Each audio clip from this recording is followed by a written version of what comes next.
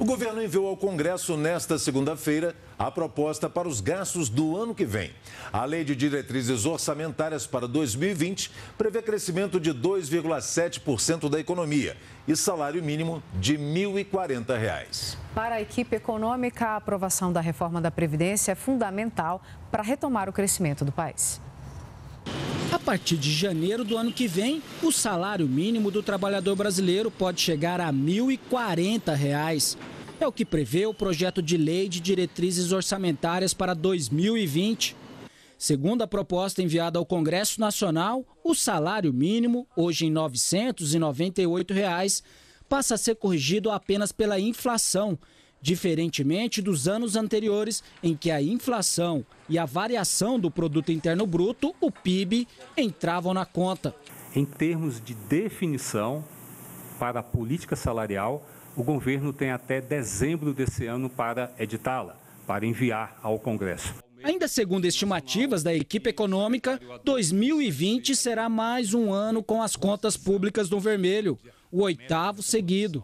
A previsão é de um rombo superior a 124 bilhões de reais.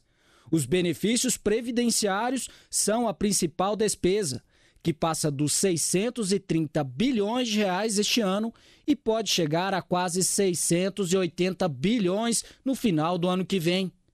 Já os gastos com pessoal somam 338 bilhões de reais. O projeto chega ao Congresso com as metas e projeções para o futuro, mas o governo fez as contas sem incluir o impacto das reformas estruturantes que ainda precisam ser votadas.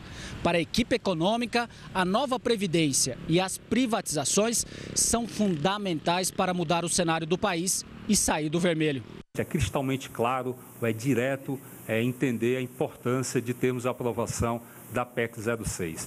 É um número que, desde 1996, nós temos é, déficit nesse regime.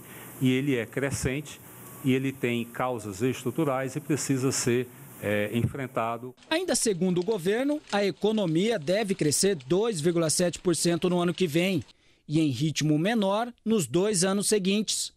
A inflação estimada para 2020 é de 4% e se estabiliza em 3,7% até 2022. A gente tem ainda um desafio enorme de trazer uma economia que está com déficit nominal de 6 pontos do PIB para um déficit nominal na casa de 2,5% do PIB ou 3% do PIB, que coloca a dívida pública numa trajetória descendente.